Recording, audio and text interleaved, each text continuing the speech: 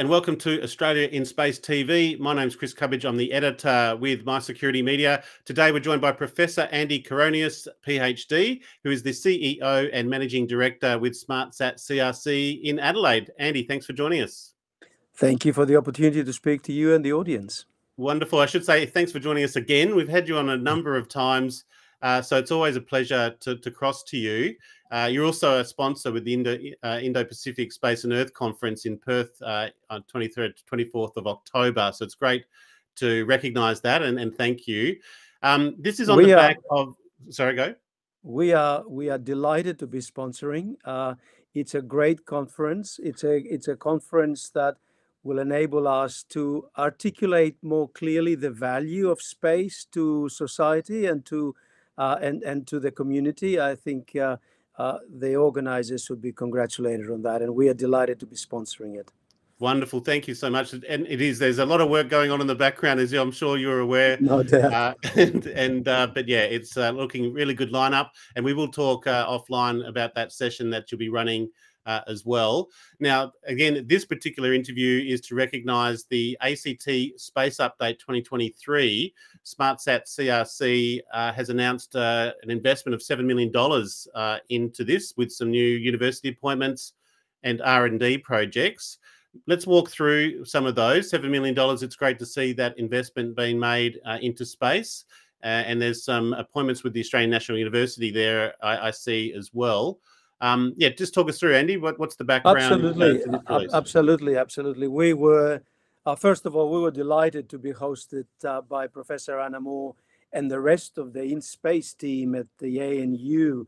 Uh, amazing facilities in the in Canberra City, uh, and we were joined, of course, by government and particularly the Chief Minister Andrew Barr, who launched the uh, uh, the Space Update 2023 for the ACT.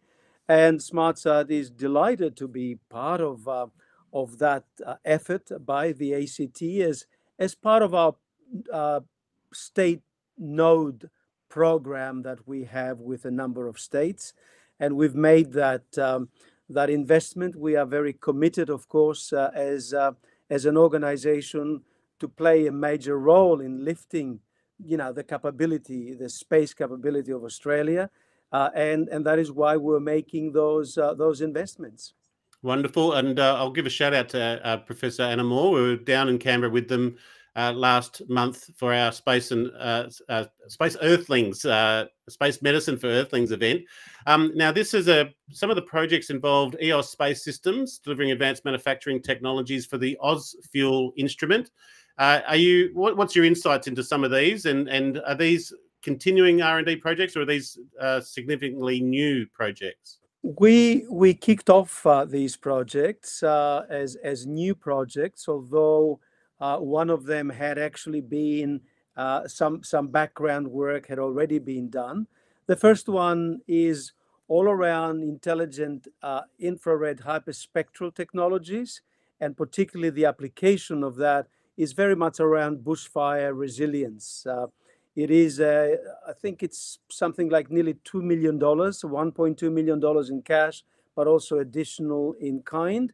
And as you've said, Chris, uh, the major collaborators in that is the ANU and uh, EOS Space Systems.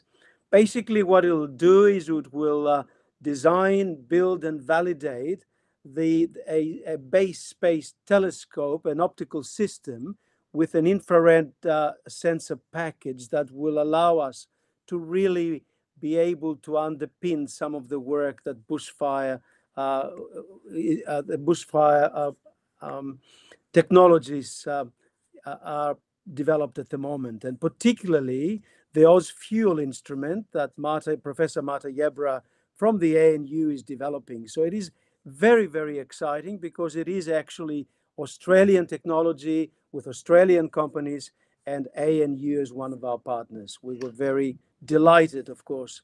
And I don't really have to tell you what the benefit for all of us is when it is either predicting or supporting uh, bushfire management.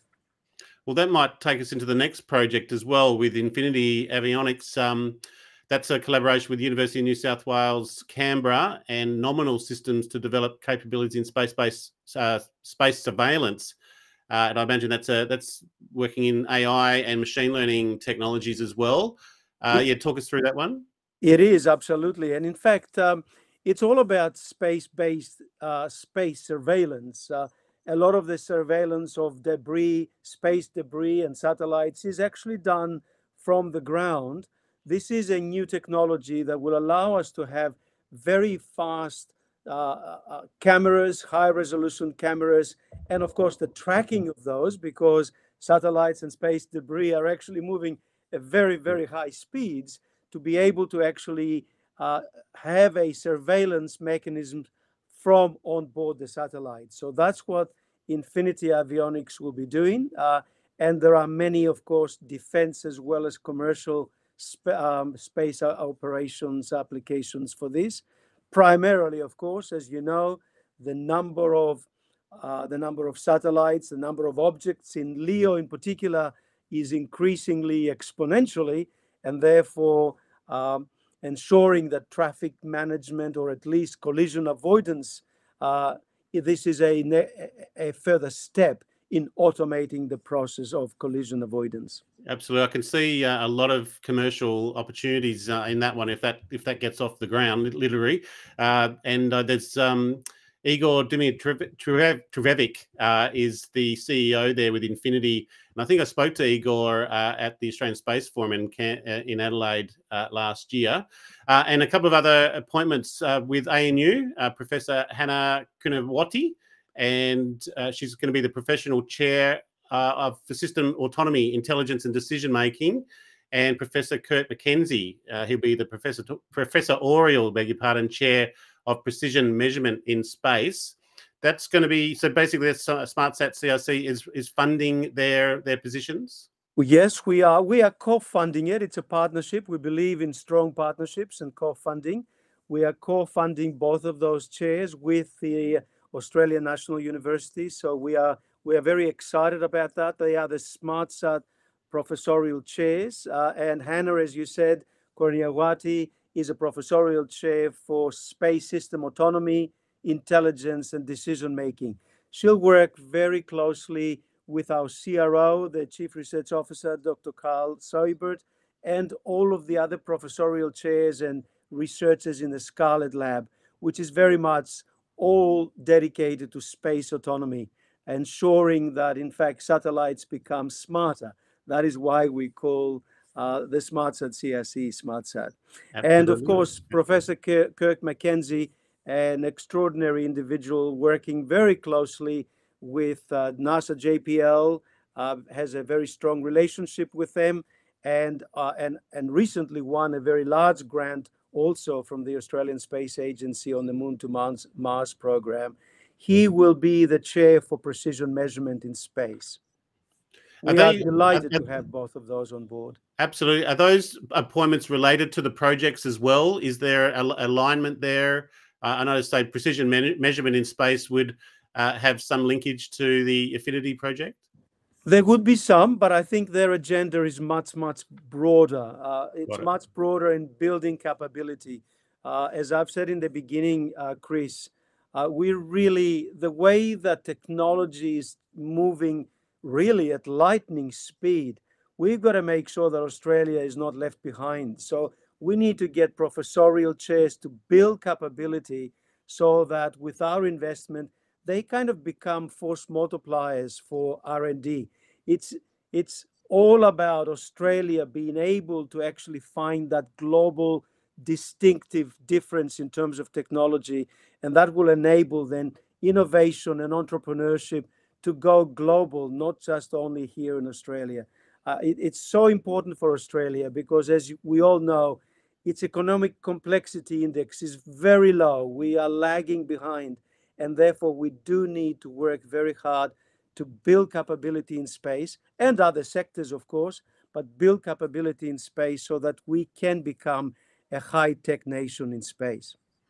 Well, and I think one one what we're trying to achieve with the Indo-Pacific Space and Earth Conference is that cross-sector, as you say, space uh, and what space is capable of uh, on Earth.